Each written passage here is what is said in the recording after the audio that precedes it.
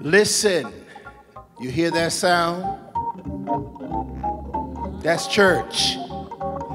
Want it? Come, let us go to the house of the Lord.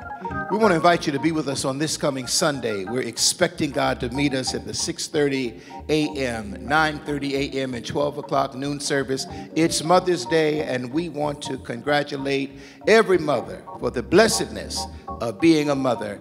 Happy Mother's Day to all of you, and join us this coming Sunday. You will not want to miss it. Tell others. God bless. Have an amazing day. Take us on out, Donald.